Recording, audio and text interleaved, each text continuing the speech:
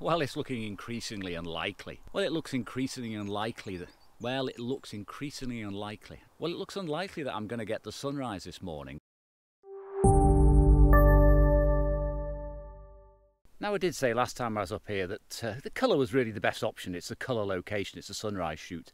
So I brought the digital camera this time because I'm not going to waste loads of film on these super long exposures, which is a bit of guesswork with film, but with digital, not a problem at all.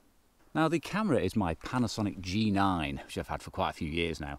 And the lens is an all-in-one, let me just show you, an all-in-one uh, super zoom, a 14 to 14 to 140. Yeah, so about a 28 to 280. Now, something else I have my Panasonic G9 is a high resolution mode. Now, I would typically use this for digitizing my negatives. But on scenes like this where there's no movement, it's very still this morning, it's worth trying one of the higher res modes. which gives me about a 40 megapixel image. Now I'm not saying I need 40 megapixels, but it's quite nice to have the option, especially if I wanted to make a panoramic out of this and crop out quite a lot of the detail. I may need more than the standard 20 megapixel resolution. It's particularly nice this morning. It's very, very colourful. It's, it's more like a sort of Velvia or a Provia shot. And it's subtle and it's soft, but uh, yeah, still wouldn't mind a bit of sun poking through, to be honest.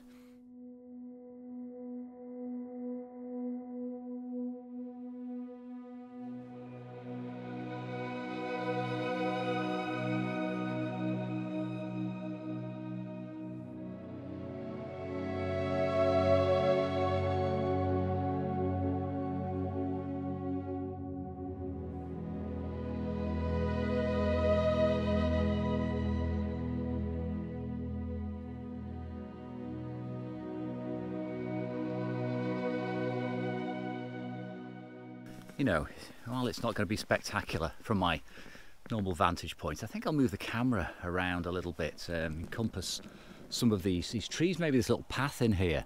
I've got to try something a bit different. If I'm not getting the best light for the shot I'm lined up with, then maybe something else will work better in these subdued conditions.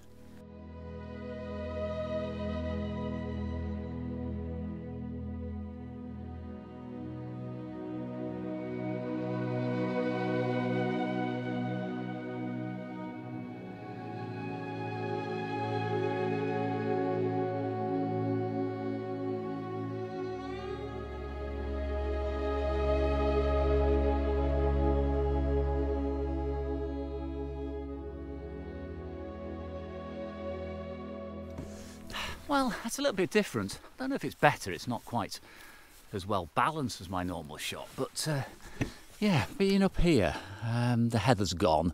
Would have been better in August, obviously. Note to self. Um, but yeah, there's definitely something about it. Right, well, we are past sunrise now, and there hasn't been one. So perhaps I should reposition myself a little bit further down the the lovely little path down here. There are a couple of angles I've seen when I'm walking home through some trees, through some rocks, through some boulders, etc. I get a bit bored doing the same old same, even though it's a beautiful spot. I think I've got to uh, practice what I preach and branch out a little bit and uh, be a bit more adventurous. Hmm. Well, I'm rather pleased with myself that I've moved all of about about 20 yards. Massive effort there, Steve. And I have lined up something a bit different, something I've seen, as I said, many times before. But the light is better today. I've got a much better balance with these foreground areas of interest. Uh, they're evenly illuminated because the sun hasn't come up particularly bright in the background, so I'm not blasted. It's not and whitewash. Yeah, very promising. It does need my widest angle though, 14 millimeters, 28 mil equivalent. I'll be honest, I could have done with something slightly wider, but uh, maybe 24 mil would have just about uh, captured everything. But still, pretty nice. Well, I quite like this image overall. It's quite subtle. There's not a great deal of colour in there. It's quite uh, modest. It's almost film-like, but the detail levels are nice. Now, something else I've done with all the Panasonic images here is add a bit of grain and noise. I just think it looks better overall.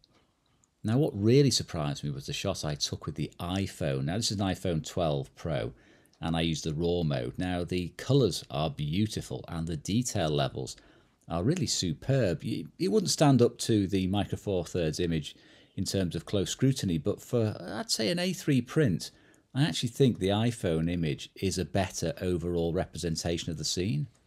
Well, I think I've had the best of it this morning. The light is coming up now, which will actually spoil it because the contrast will go off the scale.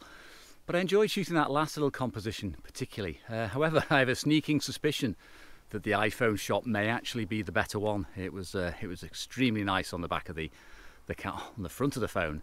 So I'm going to get back and I was going to say develop these uh, pictures, but obviously they're already uh, developed. I just got to get them into Lightroom.